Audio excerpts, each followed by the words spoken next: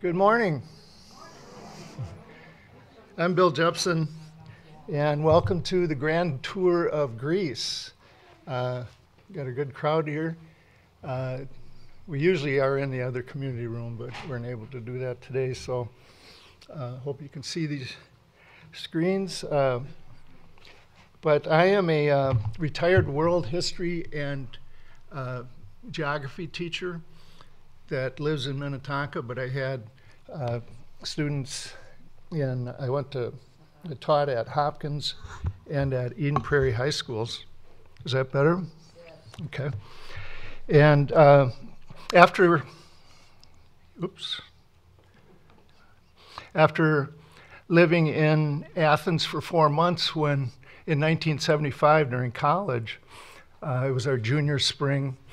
Uh, we lived in Athens, and every weekend we had four days off. We were off with our college classes at, at noon on Thursday, and we would go to different islands or different places. So I'm going to give you a tour of all the wonderful places in Greece. And since I uh, I thought I would be going back soon after that, way back in 1975, but then it was many years until I was teaching uh, and teaching social studies that I, uh, oh, thank you, um, that I realized that I could take students overseas, and every six students, the teacher goes for free with EF Tours. So I thought, wow, I was in a small alternative program for at-risk students in Eden Prairie. And these students, uh, a lot of them had ADHD, and and uh, so therefore they they had a short attention span. They didn't do well with lectures, and so they needed to experience things, and that's how they learned. So I started this program, and about eight times we went to Europe and uh, China. And so I've been giving these presentations. The last one was on China, or 10 days there in 2007. And then uh, we would go to Paris, Italy. Those are two of our other presentations that I may be doing again in the spring, the Paris one and the Italy one. But, uh, but in 2003 and 2009, we went over there. In fact, here's the picture of me on the left in 1975 and on the right in 2003 and with our students in front of the Parthenon. I had that beard only for about a year or so back then. And so let's get our passports and hop on a plane, go over to Europe. Um, it takes 12 hours flight time. And usually you stop in Amsterdam or Frankfurt on the way.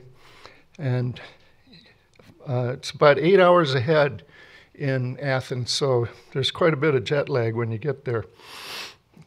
Here's Greece, you can see, well, I'm not able to point here uh, like I could in the other room. But anyway, I'll just direct you to the very bottom right is Greece on the Europe map if you don't know.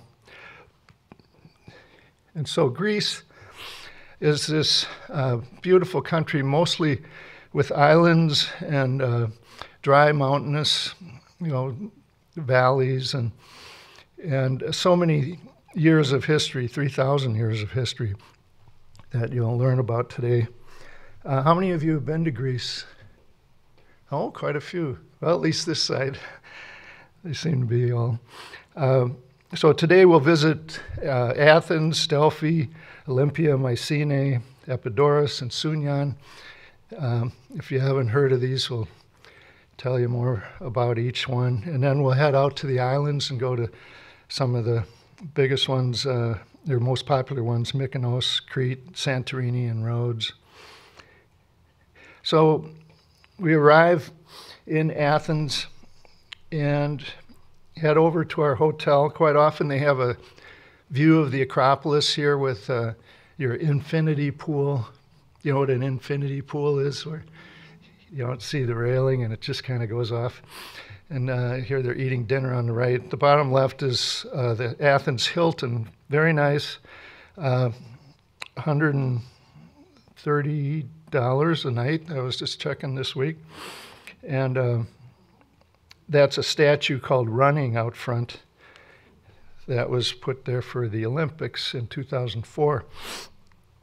So usually I recommend on the first night when we get there to go up on uh, Mount Lycabettos. It's this mountain on the upper left that uh, sticks up out of Athens.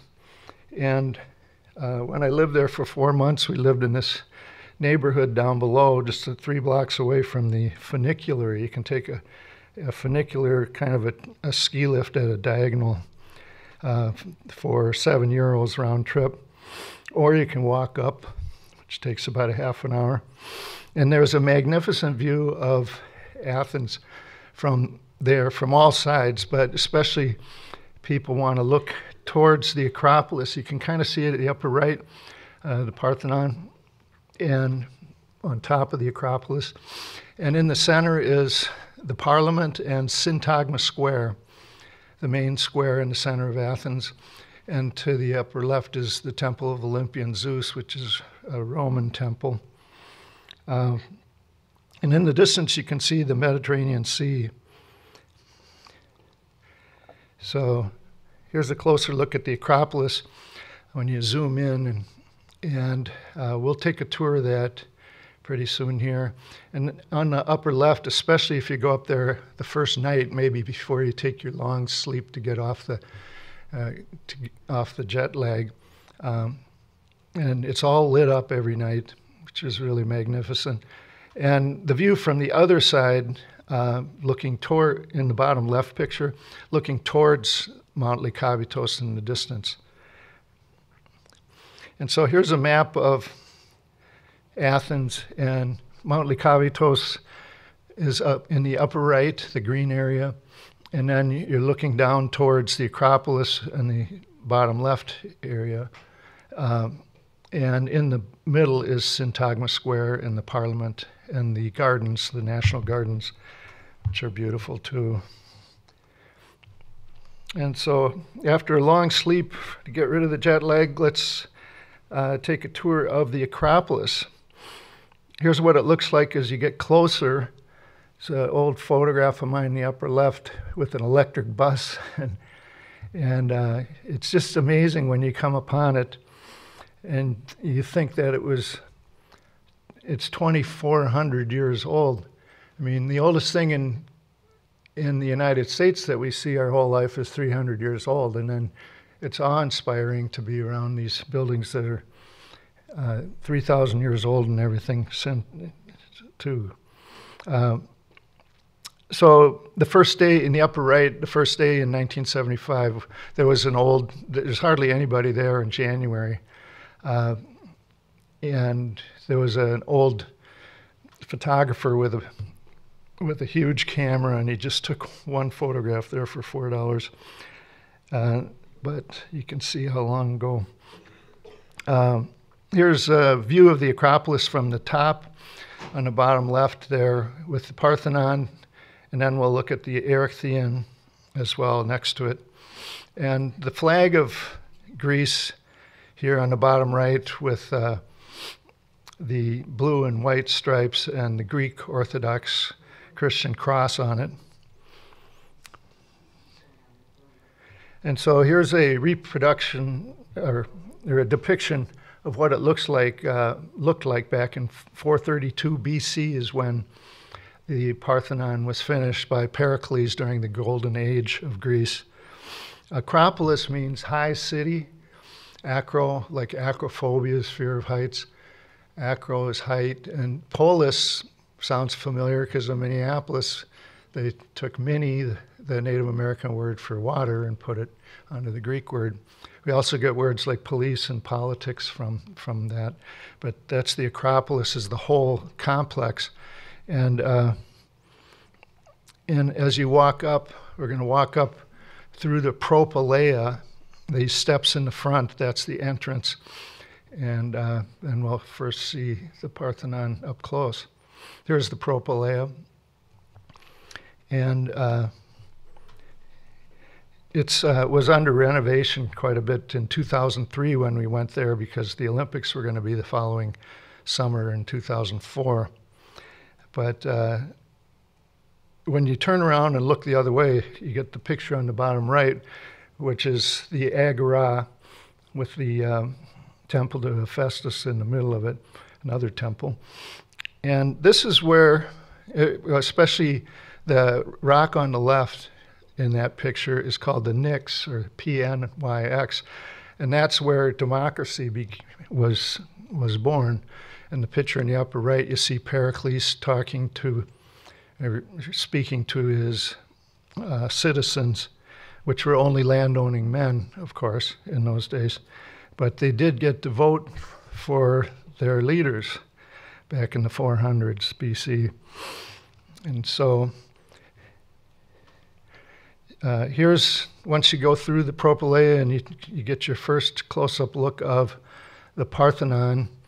I usually sit down with my students here and talk to them about how much this this is a uh, a perfect example of architecture which has influenced all so many buildings around the world, including our Supreme Court, our White House. Here's the Lincoln Memorial in the bottom right, with its perfect uh, Doric columns, and uh,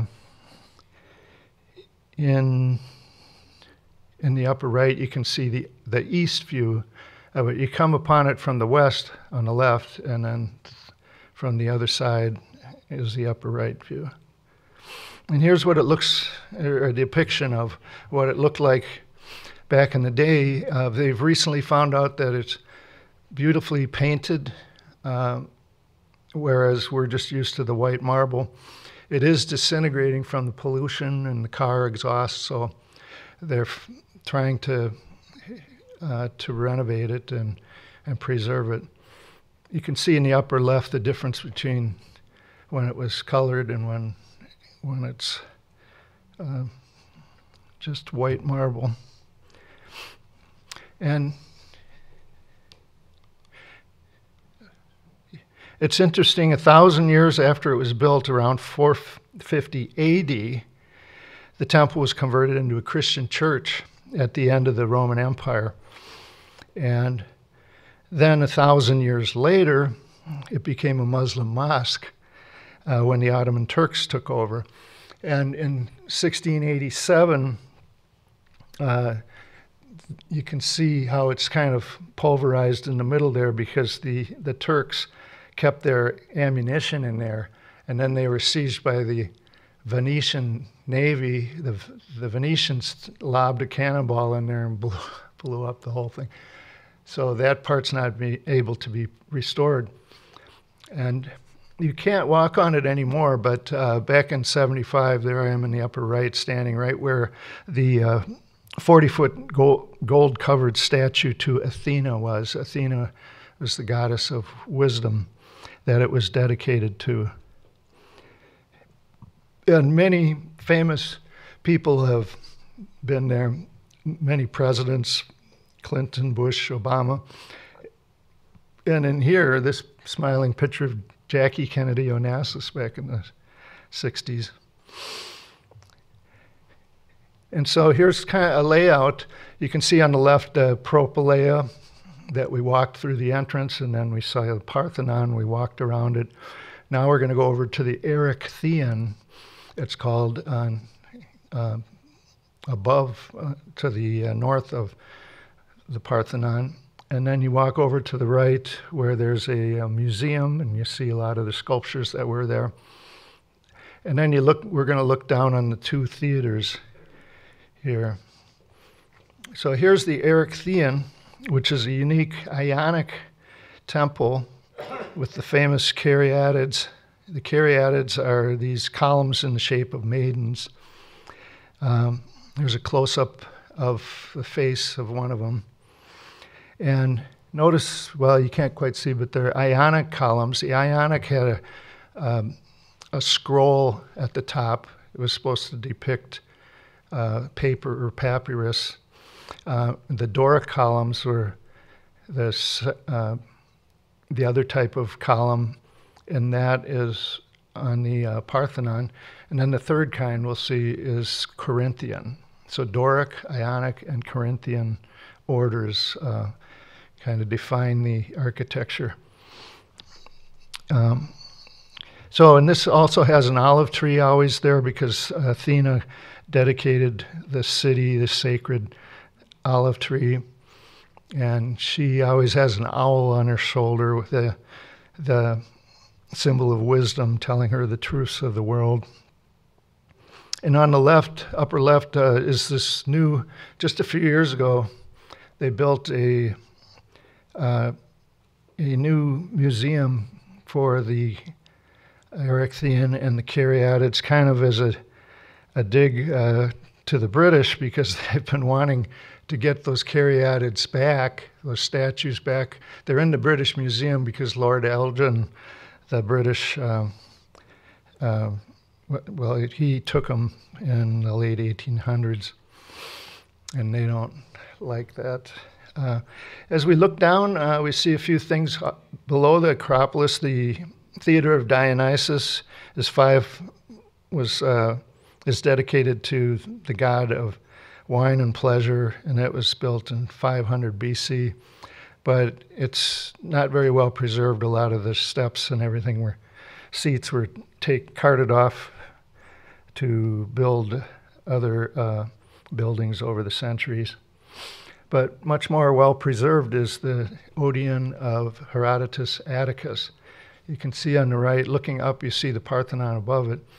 And this has a local connection because Yanni, uh, who came here in 1972 after being born in, in uh, Greece, you might have listened to his music, but, but uh, in 1993 he had a live album from the Acropolis that broke all records and was uh, the best selling music concert video of all time. Yanni. Kind of easy listening orchestral music. And you look down one of the other sides, uh, the east side, and one of my favorites is this Temple of Olympian Zeus because it's much uh, younger. It's only uh, was built in 132 AD during the Roman Empire by Hadrian. Here's Hadrian's arch leading up to it. And there's only a few columns in one corner left. And think about it these columns were all put up, uh, there are 104 of them, 60 feet tall, to uh, support a timber wooden roof. So it's before the idea of the, of the dome came in and with the Romans a little bit later. So anyway, uh, one of the columns tipped over. You can see in the bottom right, it was uh, tipped over in a windstorm in the 1800s. And then when you look down on the north side, you see the agora. Agora means field or marketplace, and that's where the center of ancient Athens, where everyone gathered to to shop and to then go up on the hill and vote. And uh, sitting in the middle of it is the Hephaestion, which is the most well preserved temple in Greece. And it's dedicated to Hephaestus, the god of fire and ironworking, metalworking. And bottom right is the octagonal Tower of the Winds in the next to the Agora, which has uh, eight different sculptures on it facing each way for the different winds. But next to that is the Plaka, and it's a huge area at the base of the Acropolis that is for shopping uh, and restaurants. And it's a favorite place for my students to go. Here they are buying. Uh, you know, leather goods and woolen sweaters. He's trying on a bronze replica mask or helmet, rather. And bottom left is natural sponges. You don't see that around here much, but they dive for those sponges and then dry them out. And uh, lots of chess sets and musical instruments, all kinds of things. And on the left here is little boy came and was selling roses uh, for a kiss. he was really cute. And on the right, uh, back in the 70s, this man every couple weeks would walk up and down the street with a baboon who would do flips, and he'd be playing his tambourine, we'd throw some drachmas down. Drachmas were the coins back then. And these are four screen captures from videos. I just wanted to let you know because you might not realize that just in the last few years, there's been a, uh, a, a great thing on YouTube where you can just type in the word walking tour, and there's people who've gone around the world, and there's quite a few in Greece. Uh, if you just put walking tour the Plaka or the Acropolis or Paris or China, wherever you want to go, and they'll walk slowly around for just from eye level with a camera, and uh, just so you can listen to the people talking in the other language. You really feel like you're there if you put it on a big screen. And so I would encourage you to do that. Walking tours. Um, the currency uh, today is euros. A euro is 0.87 cents to the US dollar, or in other words, $100 is 115 euros. And uh, when I first went there, it was drachma. Uh, up until 2001, uh, drachmas were 3.3 cents each, and so we had to figure that out. It was kind of tricky. 33 to the dollar. Uh, Greek food. So all this walking is getting me hungry. So uh, we let's check out some of the foods. Of course, gyros on the upper right. It's not gyro, it's gyros. And that, of course, is uh, sliced lamb in a pita bread with tzatziki sauce, which is cu- cucumber and yogurt. And then to the right of that is souvlaki, which is lamb skewered with lemons on top. And then saganaki, if you've been in a Greek restaurant, they take uh, cheese and light it on fire, and then they go opa, and sometimes the flames go start the ceiling on fire. That has happened, but it's really fun, and then you eat it with uh, pita bread. Bottom left is uh, Greek salad, of course, with olives, onions, tomatoes, cucumbers, and a big slab of feta goat cheese. And then calamari, which is usually battered here, but over there they often have it pickled. And then, of course, dessert, you got to have baklava, which is uh, crushed walnuts and honey with phyllo pastry. Oops. And here's a uh, typical Greek menu. Some of the other things, moussaka, just like a lasagna. Uh, spanakopita, spanakopa means spinach, and pita means pie. So spanakopita, spinach pie, taropita is cheese pie, and uh, dolma, these are stuffed grape leaves. You probably recognize some of these. And uh, on the right are just a couple views of how the of the tavernas and restaurants in Plaka, of which there's a hundred of them, and so a great place to hang out at night. And then, uh, what do you drink when you're there? when we were uh, 20 years old uh, in a foreign country where you could drink when you're 12 years old, we enjoyed the uh, Greek beers quite a bit, uh, like Fix, Ellis. Ellis means Greece. Fix and Mythos. And then we'd drink Greek wines like Retsina. Retsina means resin because it tastes kind of like the pine resin of, of the pine cask that it's uh, aged in. And then you finish it off with a shot of ouzo, which is licorice aperitif. On the left here, you can see we've had a little bit too much Retsina. I'm doing the uh, the victory sign over them on the top. Um, then, of course, you want to uh, dance, and here uh, you probably recognize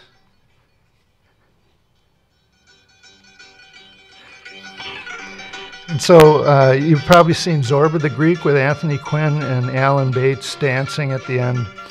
Uh, wonderful movie from the 50s. And has the big speeds up at the end, and everybody's trying to dance.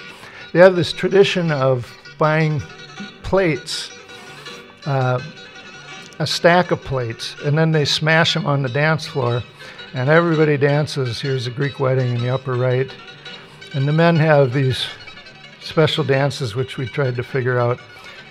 It's hard for us because it's not in 4 4 time, it's in 11 4 time, so you have to count 11 if. But anyway, it uh, brings back great memories. And stop there. And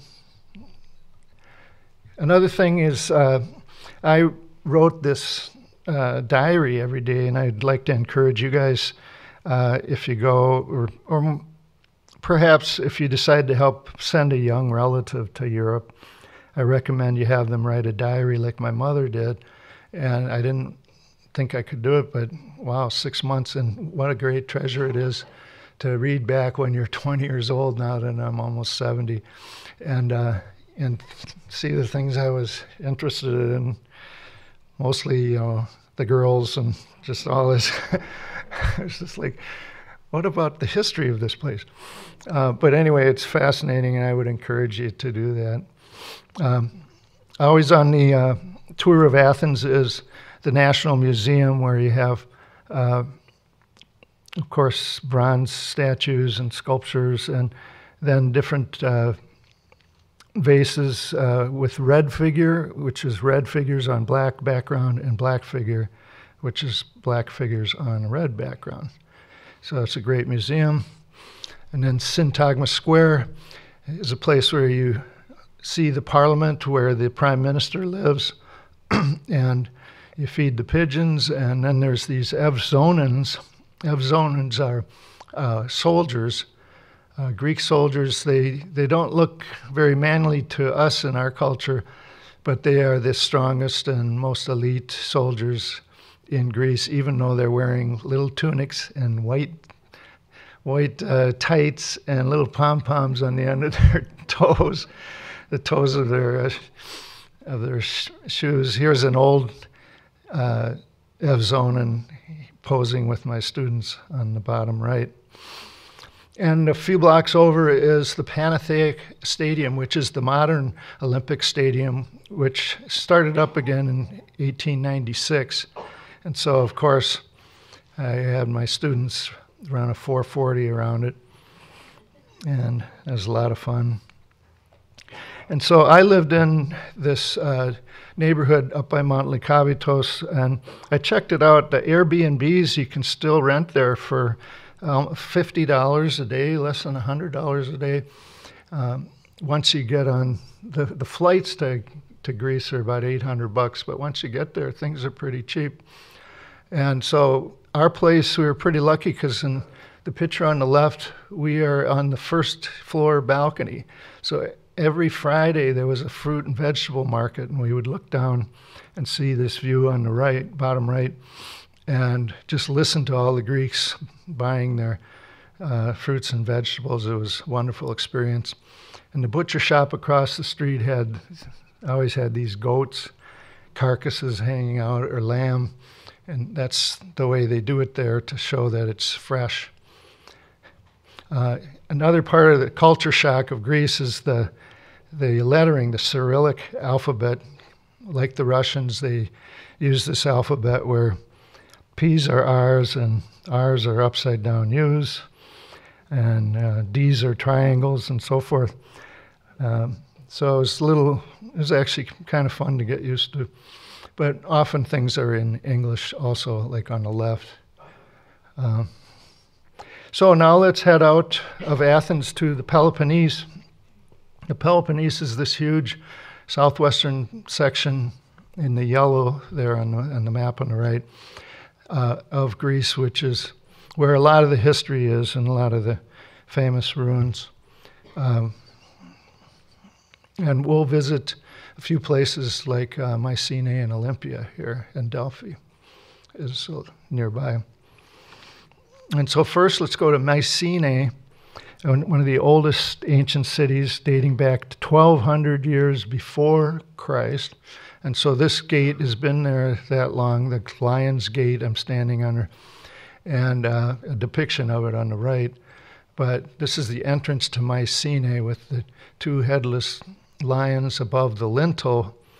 The stone on the top is, uh, they say, is 20 tons. And there was no mortar. And this has been there for all these centuries. You might have seen some scenes from this uh, in the movie The Troy. Uh, the Iliad is is has a big section of it on Mycenae and Agamemnon on the right. Um, remember, Homer was the blind poet who orally spoke these stories, and it's considered the oldest book besides the Bible that we still have. Some other uh, recent hit movies are Clash of the Titans and The 300, if you want to see them. But uh, here is uh, the map of Mycenae and an aerial view. You can see the Lion's Gate in the bottom left. And we walk in there, and then uh, it's in this huge valley, so they could see when the enemies were coming. Um, but it's all been destroyed for many centuries. And on the right is the grave circle with the famous uh, treasures from Mycenae that were found in the 1800s. Uh, they always call this the Mask of Agamemnon, but it's been disproven that it's really his mask in the upper left. But uh, but they found lots of jewelry and gold there. Uh, but most of the buildings are destroyed today. In much better shape is uh, Epidaurus, which is just a couple hours or an hour away on the bus. And this is an extremely well preserved theater in this. Uh, this uh, archaeological site, which has many buildings, and uh, it was actually kind of like the ancient Mayo Clinic. It was for health, for older folks to go there and get better with the spas and and everything. And and uh, anyway, uh, when you come upon it, it's just incredible. It's it was well preserved because for a thousand years it was buried until the 1800s. Uh, it was actually uh, finished in 340 BC, held 13,000 specters, spectators. But at the end of the Roman Empire, when they wanted to cover up the pagan sites, uh, the Christian Romans uh, covered it. And so it was well preserved. And the main feature of it is the acoustics. So people come from around the world, especially with church groups here, uh, and they record themselves singing there, but you can actually whisper uh, when you're standing on the stage, and your friend up in the very highest seats can hear the hear the whisper from way down there. It's uh, it's amazing how you can do that. And they have every summer they have many productions still today. And so that's uh, Mycenae and Epidaurus. Uh, nearby is Nafplion, where there's a beautiful castle on the hill overlooking the harbor uh, called Pomadia, and with many steps to climb up. That's just one thing to do, but let's head over to Olympia, the famous site way on the west side. It takes a number of hours on your bus to get there. and this is where there was a, uh, a uh, one of the seven wonders of the world, the temple to Zeus, the king of the gods it's all destroyed now. All that's left is a couple columns standing. Um, but there's many buildings there. And of course, this is where the Olympics started. This is what it used to look like in the upper right. And the, the Olympics started there in 776 BC and lasted for uh, 400 years. And um, and then, as I said before, the they uh, were reborn in 1896 in Athens, uh, but every four years they would compete. and all the people from the region would come around to do all these different, you know, sports, um, like in the picture in the bottom right. And so when you, one of the only things standing there is this uh, arch over the entranceway to the stadium. And so here again, I had my students run a 440, which I did back in the 70s and then again. But it's kind of cool to think of the hundreds of years of uh, like 10,000 spectators watching as uh, races and wrestling and everything were happening. and then we head uh, north a little bit on the other side of the Gulf of Corinth is Delphi, the famous sacred site. Uh, and it's uh, usually shown with this tholos in the middle of the sanctuary to Athena. That's kind of been on a lot of posters as the symbol of Greece. And the chariot, bronze charioteer that's so well preserved on the right. But, uh, and you're not supposed to climb on it anymore, but uh, we were the only ones there in 1975, so of course I had to do that. In 2003, I didn't. Um, but it's there's only three columns left, but it used to have 20 columns around. But that's just part of Delphi. Uh, the reason it's there is because of the fumes that would come out of the mountainside. It's all this built on this mountain with this huge view of the valley, and uh, there's springs coming out of there, and there would be a Delphic oracle, also called a Sibyl, who would breathe those fumes and go into a trance and then spout these different visions. And the priests would, uh, would then interpret those and tell the people uh, what she said, what the gods were saying that she, that you would have a, bear a son, uh, perhaps, or you would win the battle next week, or whatever. And uh, you kind of think about the zodiac uh, with all the Greek constellations uh, that that's still used today to predict the future with astrology. And this Omphalos uh, on the bottom center is was considered the navel of the earth, where Zeus uh, consecrated it back then. that's also in Delphi.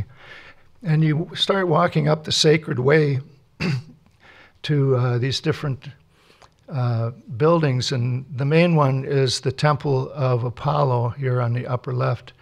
You can see what it looked like on the right, uh, all colorful.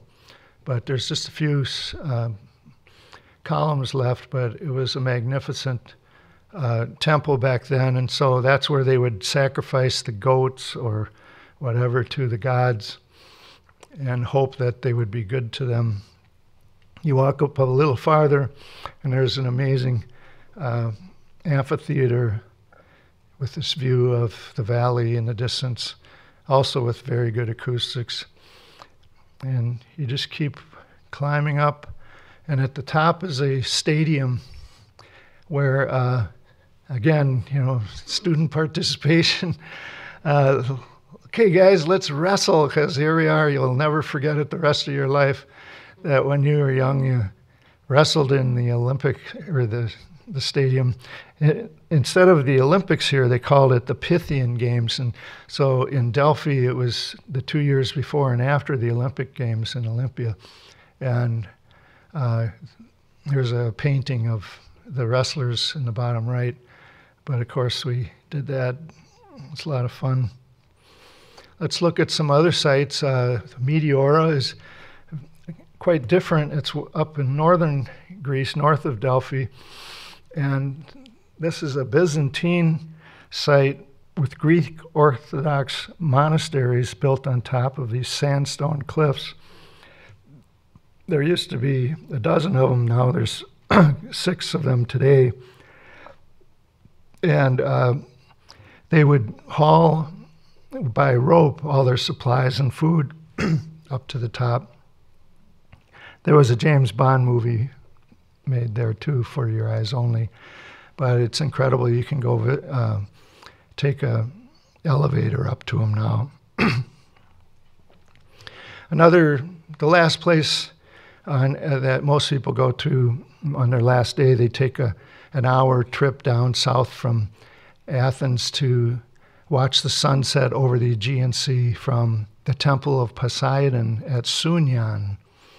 You can see the bottom left the map. Uh, it's right on the tip, so it was a place where they thought they could appease the god of the sea, Poseidon, also called Neptune.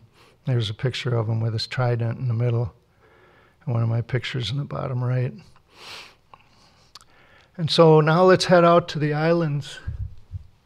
I'm looking for the time. Okay, uh, this is Piraeus, and uh, this is the main harbor where everybody takes off from. Uh, it's about a half an hour south of Greece. You can see, uh, south of Athens, you can see all the ferries here that you're going to take.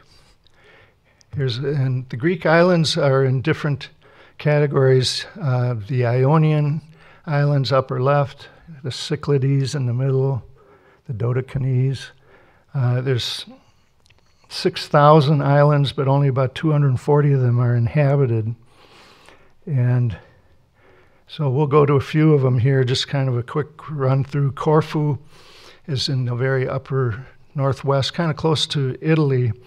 So uh, it's a very lush island, very beautiful. This is uh, this stunning Vlacherna monastery sitting out on this tiny island on the sea. The water is extremely blue, different shades of turquoise.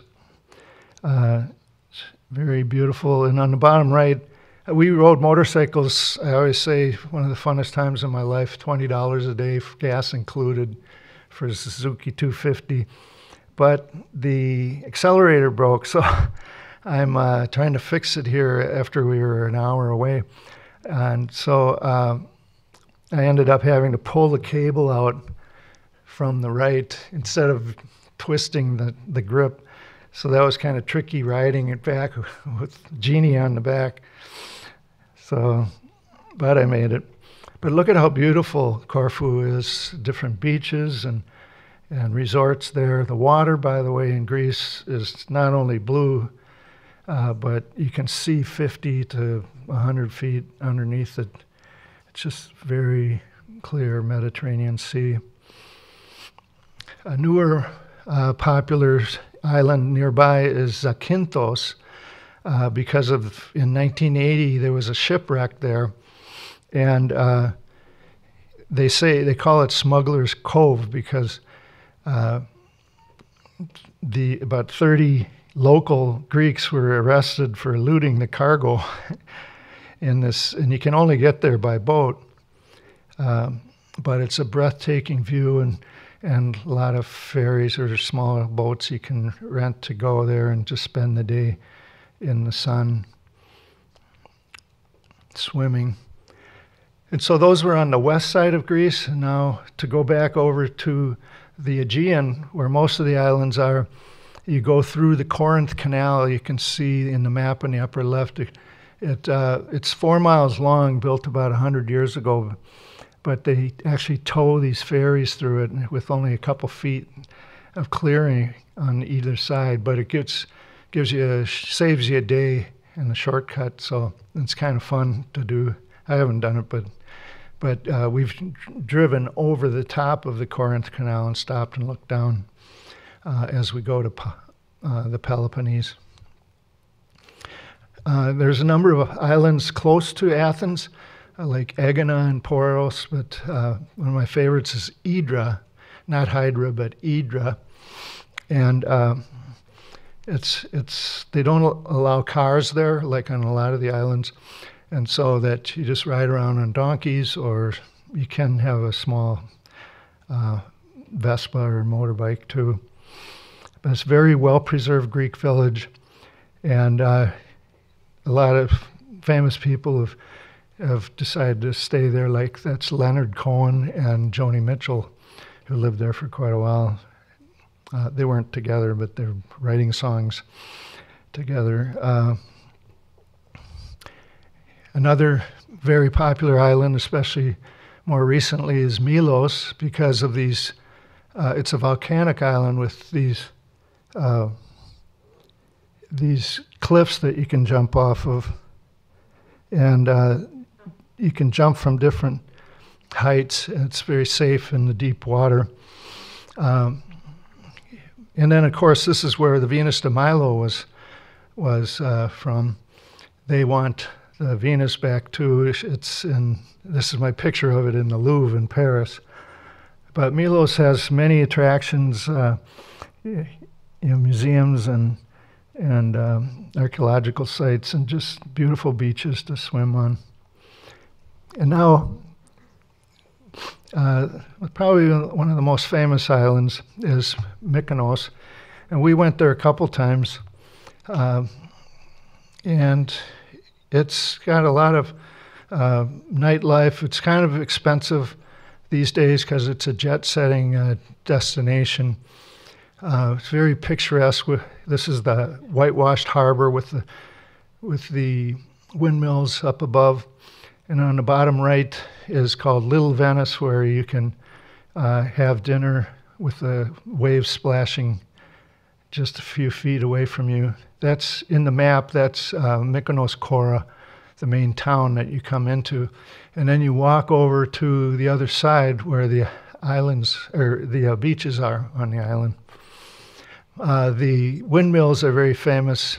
Here we, uh, on the right, we met one of the the millwright who's waving with us here, he would grind the wheat for the farmers on the island. You might remember that there's a scene in Moon Spinners with Hayley's, hey, uh, with Hayley Mills, and if, if you want to reminisce, go watch that. Um, there's 365 chapels on the island, one for each day of the year. They're beautifully whitewashed. It's a really beautiful town here uh, with no cars again. So you just walk around different shops. And it was a labyrinth designed that way so that the pirates would come to attack the town. They would get lost in the, the labyrinth, and the uh, citizens of Mykonos would shoot down on them from the rooftops. That was their defensive strategy. And here's the mascot in, of the harbor, who's always there, Peter the Pelican, in the middle. Uh, but it's a great place to just hang out like we did here. Here I am on, uh, there's donkeys going around. This one's delivering vegetables to a restaurant. And I'm sitting here under the uh, sign Pagota for ice cream and souvlaki on the right. This woman here is tenderizing octopus by smashing it against the, the steps while this old fisherman is watching. And this Greek uh, in the middle is doing what all Greeks do in the afternoon is play with their worry beads. You flip them over your fingers if you've ever done that. It's kind of fun. And uh, all the banks and everything closes. Businesses close from 2 to 6 p.m. every day. Uh, kind of like a siesta in Mexico to get away from the hot sun, and then you come out and eat dinner at eight o'clock in the evening. Here's some locals with uh, goat skin bagpipes playing for us in in the harbor back then, and a bunch of fishermen just kind of hanging out.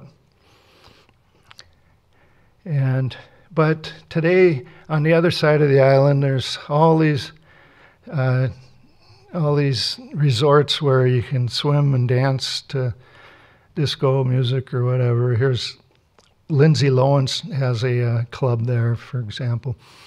And uh, but on the upper left picture, that's my picture of us back when we were the only ones on the island back in March of '75, and now it's just been inundated.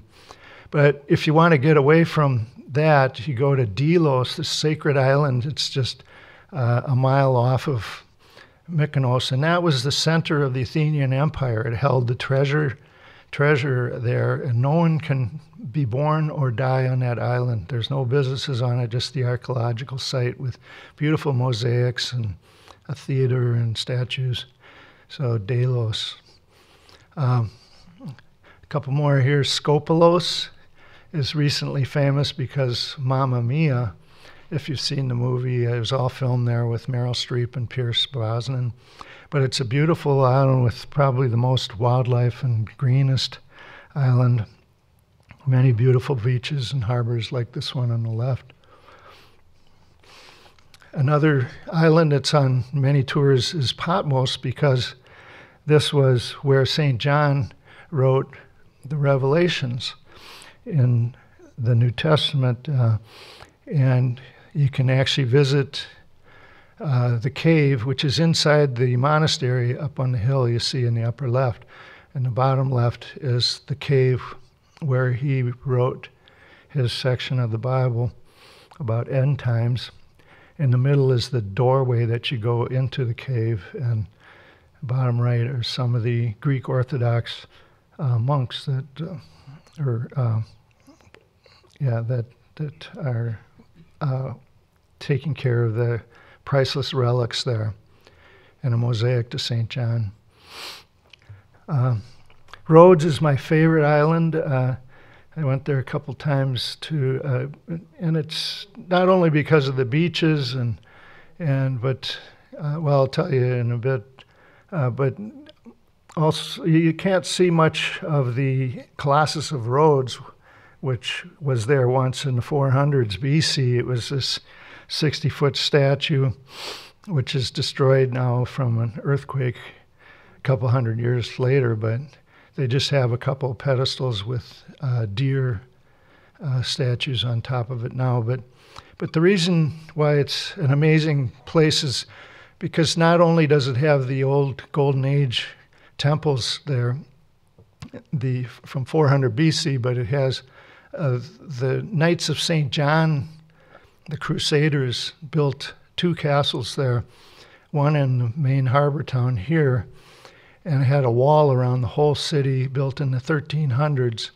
on their way to, as a fortification on their way to the Holy Land. And uh, so Rhodes is, is, you can walk along the, the uh, wall all around the city. And, uh, but the funnest thing that we did was ride motorcycles for again for twenty dollars a day with gas included.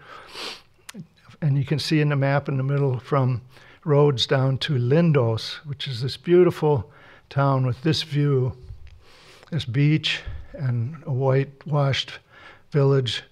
And uh, but the, it has a Crusader castle surrounding a temple to Apollo from the uh, 400 BC. So, as you can see here from above, it's this castle built around the ancient temple a thousand years earlier, like nothing else on earth.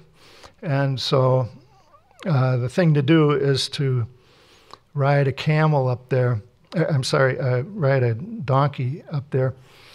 And uh, like in this picture here, bottom right, here's I am on one of the donkeys. Um, and I took this picture in the upper left of me uh, pretending I'm going to dive down 200 feet off of the thing. and I'm so glad I didn't slip and fall, and that would have been the end of my life. So in 2003, uh, my students wanted me to do it again, but I just stayed behind the wall wisely on the middle, upper middle picture and you look down on uh, what's called St. Paul's St. Paul's Bay because St. Paul uh, stopped here a couple times uh, on his uh, journeys, and and so that's famous for that. And the upper right is uh, the view of the castle as you first come up on it. Uh, but yeah, Rhodes is, is an amazing place. Lots more to see there. But just uh, quickly, two more islands uh, Crete and Santorini. Crete is the biggest island, and uh, when you go there, it's it's uh, about seven hours uh, to go there, either from Rhodes or a little more to go there. I think ten hours to go from Athens. Uh, but it's the biggest island with with uh, white snow-capped mountains down the middle of it, but lots of beaches and bays and and harbors. And you come into Heraklion, Heraklion for Hercules. It's the main town in the, in the north central part. There's a Venetian castle there uh, that's 500 years old that you can tour. Uh, but it's kind of a busy city, so you usually you want to get away uh, to see some of the sites.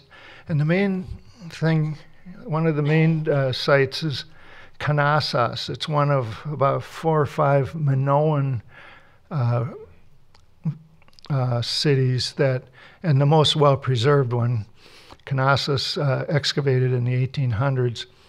And this is where King Minos had his labyrinth and and uh,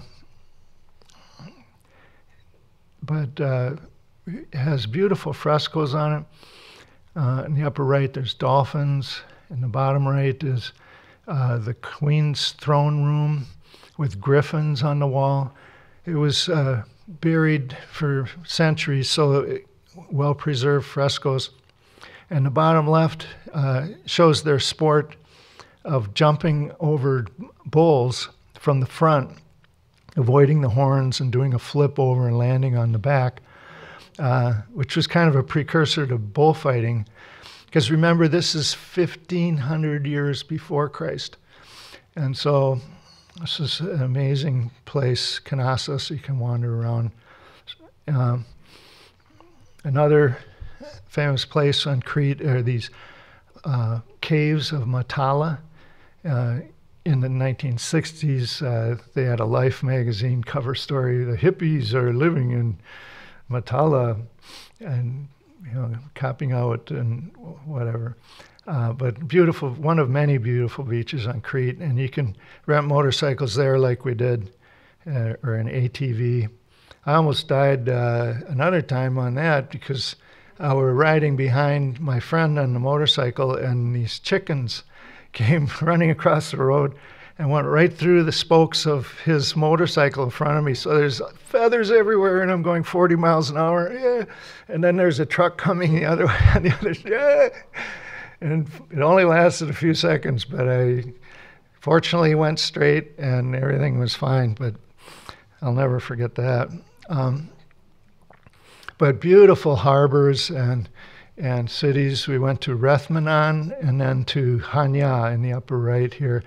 Uh, you can even see some of the snow-capped mountains there, which you wouldn't expect on a Greek island, but that's how high they are. And there's a beautiful gorge called Samaria Gorge coming out of it, uh, where people like to hike. And uh, but the thing to do is just sit at the harbor and have some fresh seafood that was caught this morning and then go out to the beach perhaps. And in the bottom right is beautiful um, village of Agia Nicolas, which is one of the others. Um, and our last island is Santorini, very special to me. I've never been. I've been to Greece four times, but but uh, we are just booking a flight to go there, uh, Sue and I, uh, this March, and uh, because she's able to, with her laptop, she can do her job from anywhere. So we're like, why are we doing it in Minneapolis? Why don't we go someplace for a couple weeks? They have the internet in Santorini. Uh, and so this is some of the most spectacular views on Earth with this caldera here. Uh, the unique thing about Santorini is that it's this volcanic island uh, in a circle here. And uh, the main town is Thera in the middle, and then with the busiest part overlooking the caldera. And in the north is Oia, O I A, which is uh, the, where the jet setters, the most expensive, luxurious hotels are. Um, but we're going to stay in the bottom right well, actually, here in, in the bottom of this big aerial photograph is Perissa, because this side of the island is a uh, is gently sloping with uh, sandy beaches all along it, whereas the the north side there is the the cliff side where everybody wants to watch the sunset every night. There's different colored sands, the black sand beach in the bottom left, white sand beach, and red sand beach. And and you can see the airport there too. You can fly in for hundred dollars from Athens, takes a ha- half an hour, or take a boat for 50 euros, um, which will take a couple of hours, a few hours. Um, but beautiful island, and most people, when they arrive on a ferry, and there's lots of cruise ships, they come to this cliff and they want to go up to the main town, Fira, on top. And so they have three choices. You can walk up with your luggage, which takes many hours, 600 steps, forget that. Or you can ride the funicular for six euros on the upper right, which is uh, these uh, you know, it's a, basically a ski lift, much easier. Just takes a few minutes. But many people ride these donkeys uh, for 30 euro, which is a special thing to do. It's been done for thousands of years. But it's become very controversial lately uh, because uh, a lot of people feel it abuses the donkeys. There's about 400 donkeys that carry hundreds of tourists each day up the half an hour ride up. But so they've limited to, to to appease that, they've limited the weight so that if you weigh over, I think 200 pounds, you can't go, or maybe it's 150. Um, and you may have remember the scene of Sisterhood of Traveling Pants, where she does that. If you've seen that, it's a great movie filmed on Santorini from a few years ago. And then in 1980, the one that really got a lot of people going there is Summer Lovers with Daryl Hannah uh, that you might want to check out. But you go to Santorini, it's on a bucket list for many people because you can watch the sunset in the west over the caldera while having your dinner in a whitewashed cliffside hotel next to your infinity pool. You see there, it's really, it's it was on the bucket list for my father. Uh, at, at, when he was 73 years old, he finally went there. Took a lot of great pictures, and um, but here's why it's unique: is you can see the red line here on the left is the the size of the original island with Nea Kameni, the volcanic cone in the middle that blew in 1550 BC. And uh, it's blown a few times since too, but the big explosion was back then and um, destroyed the villages. And the tsunamis went up to Crete and destroyed the Minoan cultures in their harbors with huge waves. Uh, and they say that's where Plato, writing in 500 BC about an event that was a thousand years before that, he wrote the story of Atlantis, the flooding of Atlantis. And they say where that's probably where he got the inspiration for that. And you can uh, visit Akrotiri is the archaeological site with wonderful uh, frescoes on Santorini here, uh, like these boxers and the young fishermen in the middle. Amazing artwork for for being so old. The blue monkeys on the bottom right. And uh, one th- other thing, last thing that you do is uh, usually take a day trip over to the hot springs. There's some uh, hot water coming up un- underneath the center of the island, uh, of the where the cone is in the middle, and so the water is 80 degrees there. You take a little boat trip over there and swim all day, and uh, but now let's uh, book a reservation for a dinner overlooking the caldera. They, you can have these special dinners on your hotel or restaurant, and everybody goes there to watch the sunset. Beautiful sunset every day. It Doesn't rain very often in Santorini. And so there's the last one. Kali Nikta Ellis means good night, Greece. Thank you very much. Any questions? Thank you. If you have any questions, come on up. I'd love to talk to you. And so, and we, we may do uh, Paris and my tour of Italy again because only three people came during COVID uh, last year. So we were thinking, let's do it again next spring. So look for that. I have four of them. Thank you very much.